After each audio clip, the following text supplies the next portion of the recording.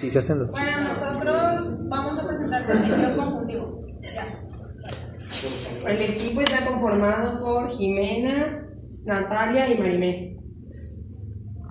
Bueno, como principal tenemos que es el tejido conjuntivo, es aquel que se llena los espacios entre los órganos o en las células en muy poco caso.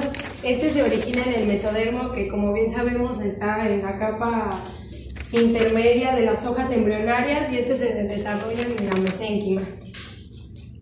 Las funciones principales que tiene este es que brinda soporte y estructura, sirve como un medio de intercambio, está también en, la defensa y protección del cuerpo y este crea un sitio de depósito de grasa, que son todos los adipocitos y todo eso. La defensa y protección, pues son todo lo de los anticuerpos. ¿En dónde se encuentra este? Bueno, aquí tenemos una imagen de una persona.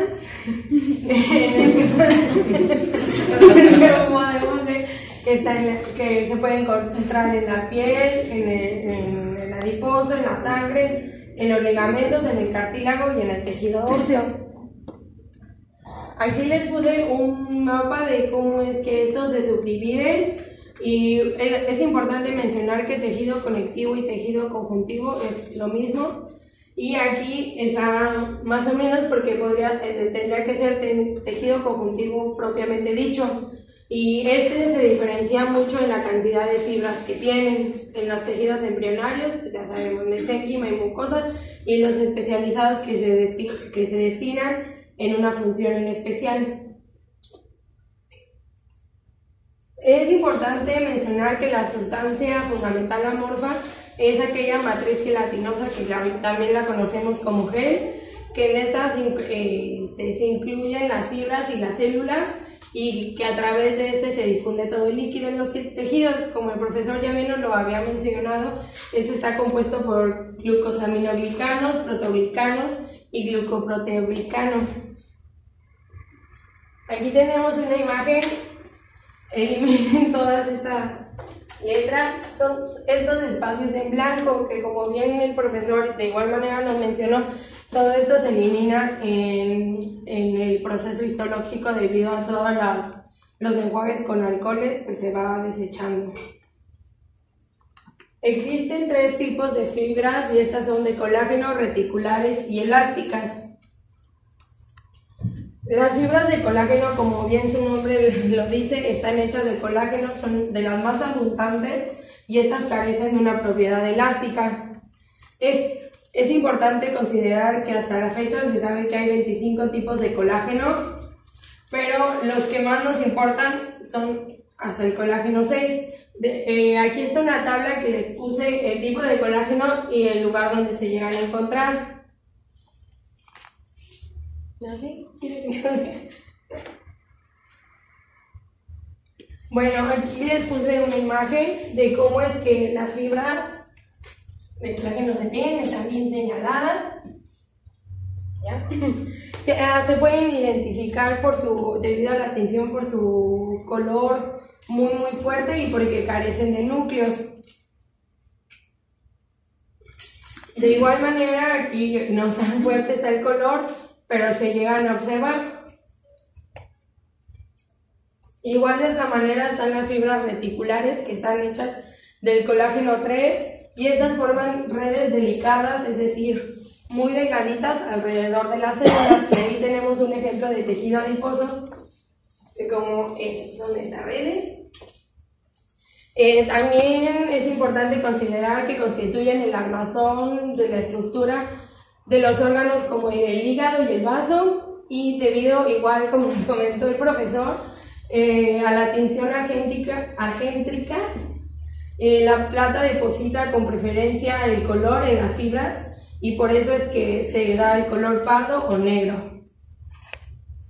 Aquí, bueno, aquí les puse un corte de tejido adiposo teñido con tricromo de Manson, que fue el que expliqué la vez, bueno, la diapositiva pasada, que son todas estas líneas.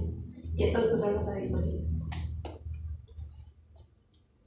Y las fibras elásticas están hechas de una proteína llamada elastina. Estas pueden estirarse hasta un 150% más de su longitud total y una vez que estas se estiran, regresan sin ningún problema al lugar inicial.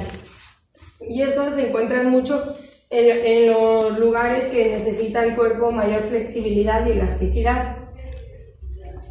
Este es un corte de arteria con la tinción de orseína, que son estas como el profesor nos mencionó, que eran como olas de un niño de primaria. que están muy marcadas.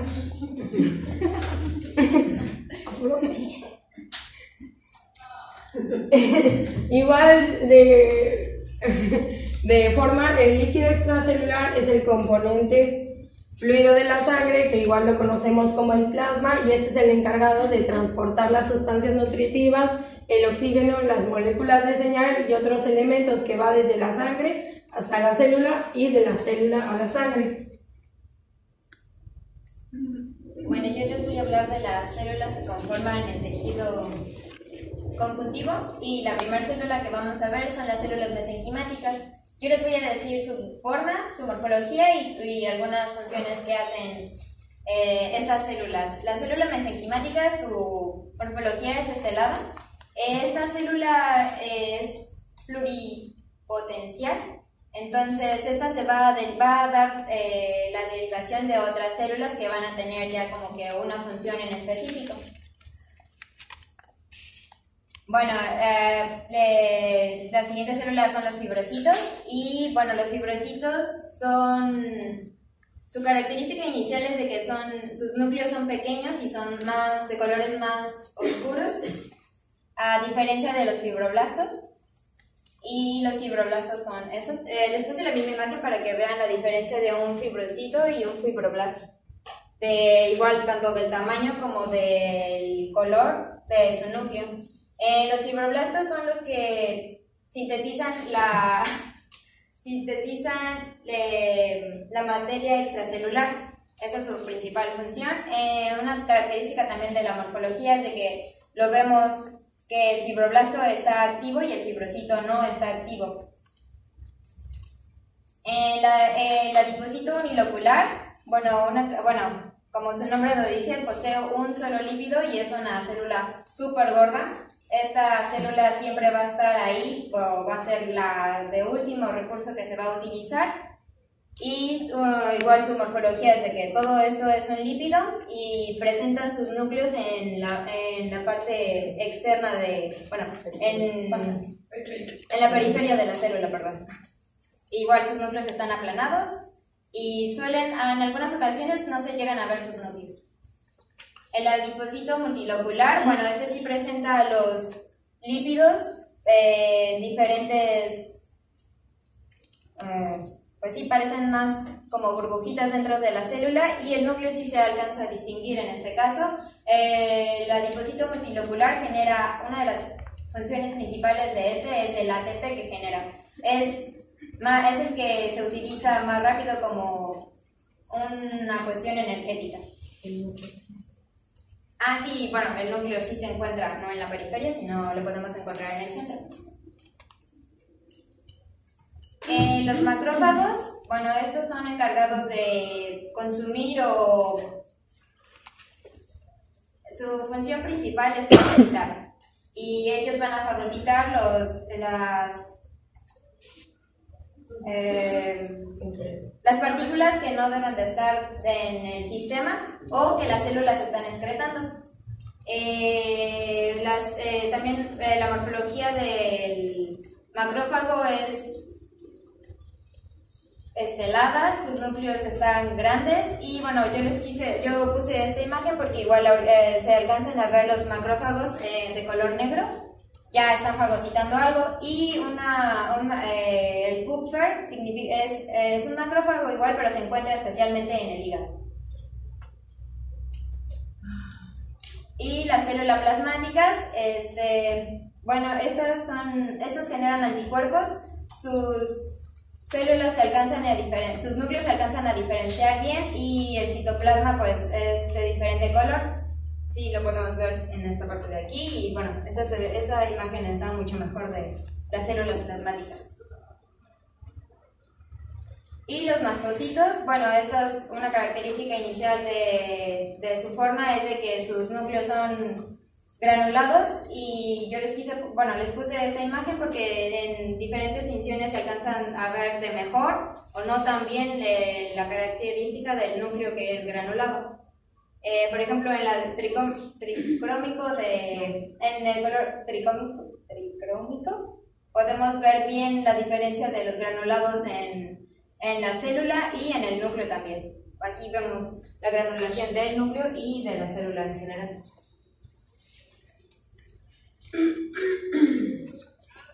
En el tejido mesenquimático eh, podemos observar que hay, bueno, el tejido conjuntivo es, es precursor del tejido mesenquimático, que también es mencionado como tejido conjuntivo embrionario. Eh, las células mesenquimáticas pues son las meramente células madres que son precursoras de otras células y pues son multipotentes.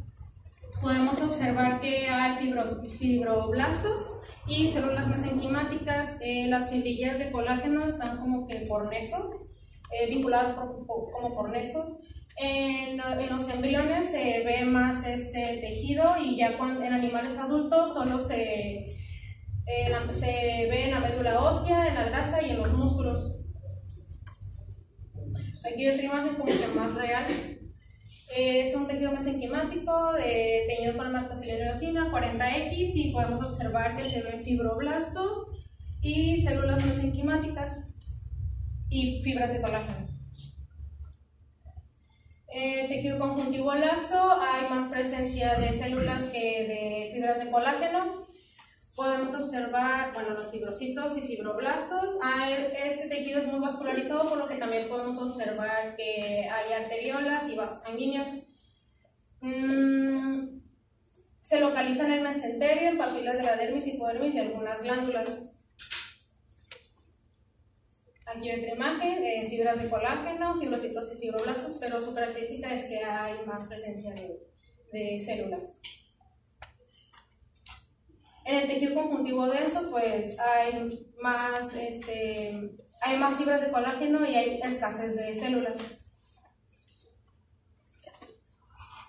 En el irregular, las fibras de colágeno están como que revueltas, eh, van en diferentes direcciones y, y también se encuentran fibrocitos y fibroblastos que son como que granulados, se ven puntitos morados.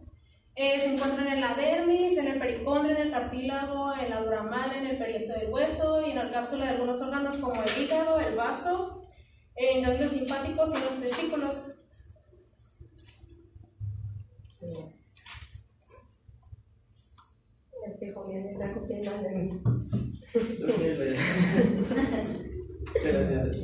En el regular, las fibras de colágeno van en una sola dirección y los núcleos de los fibroblastos son aplanados, como se muestra en la imagen.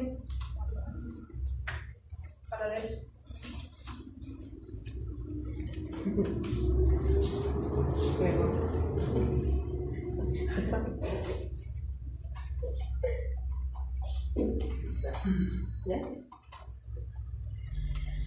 En el tejido adiposo eh, eh, viene arraigado con vasos sanguíneos. Eh, son muchas células grandes y son inoculares, por lo que son, tienen una sola gota lipídica. se encuentra en, la, en zona subcutánea donde forma lipodermis, abundante en mesentelios y pocas en la médula ósea. también se encuentran fibras de colágeno que son los que los mantienen como que compactos, unidos.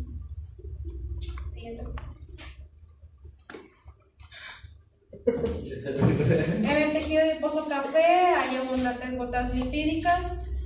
Em, los núcleos son eh, centrales y eh, el color se debe a que son muy vascularizados, aunque también presentan citocromos, que son proteínas que están en las mitocondrias, pero son de un color muy fuerte, es por eso que, que dicen que es café marrón. Eh, se encuentra en arterias, carótidas, venas cardíacas, órganos como páncreas, hígado, vaso y riñones. Y aquí les puse una imagen, la diferencia entre el blanco y el café. y allá el café ya se observa más que el núcleo está más centrado y hay varias gotas lipídicas. Aunque también hay unicelulares, unilocular, perdón. Eh, como esto.